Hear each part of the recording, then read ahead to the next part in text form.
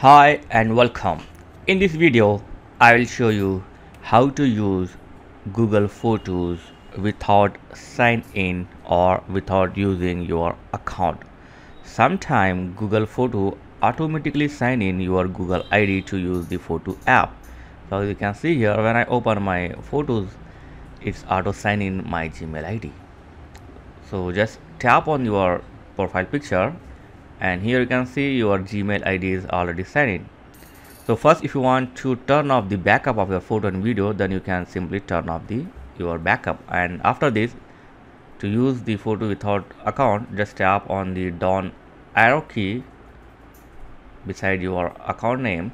And here you will see the option use without account. Okay?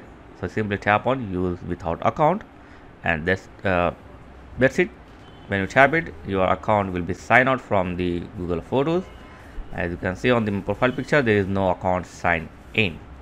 So a simple and basic way to uh, sign out or use google photo without using any account in your android phone. So thanks for watching guys. Catch you next video. Please like share and subscribe. Thank you everyone